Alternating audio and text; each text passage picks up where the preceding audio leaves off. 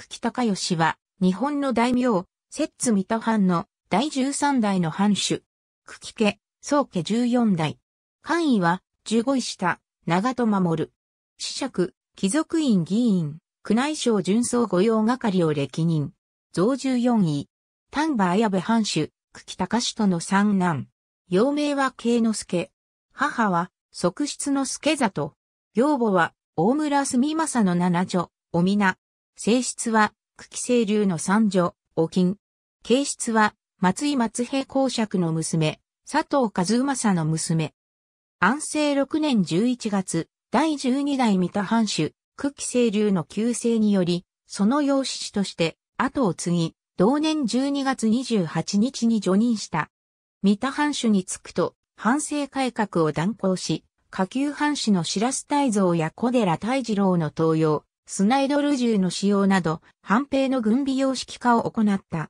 慶応4年の戊辰戦争では、鳥羽、伏見の戦い直後から新政府に組みして戦った。当初は大政奉還に強く反対した砂漠派であったが、勤労派に転身した。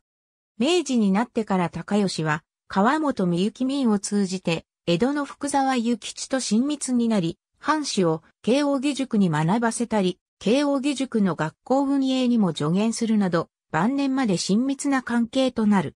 明治2年6月23日、藩籍奉還により、藩知事となり、明治4年7月15日、廃藩置県により免官された。明治5年、近代港として発展が見込まれる神戸に居を移し、三田藩士の多くもこれに倣った。生田川付け替えに伴う埋め立て地の買い占め、転売で距離を得た。この資金をもとに1873年3月、幕末から明治維新の混乱による財政の立て直しと、廃藩置県で困窮する三田藩士を救うべく、白洲大蔵や小寺大二郎らと共に、島三商会という神戸発の貿易商社を設立した。これが成功を収め、不動産や金融業に乗り出し、現在の元町、三宮といった神戸港周辺の都市開発や女子寄宿学校、神戸ホームの創立に関わるなど、神戸の街づくりに多大な影響を及ぼした。明治15年より、宮内省巡送御用係家族局に勤務。明治17年7月8日に子爵を除爵。明治19年に吹き上げ、浜両御園勤務に移動した。明治20年4月24日にキリスト教の洗礼を受けたが、三田内部及び三田の寺院の強い反対で、キリスト教を帰教して仏教に寄進する。明治23年7月10日、貴族院議員に選ばれた。明治24年1月24日、55歳で死去。三田新月院に埋葬される。法号は、太閤院。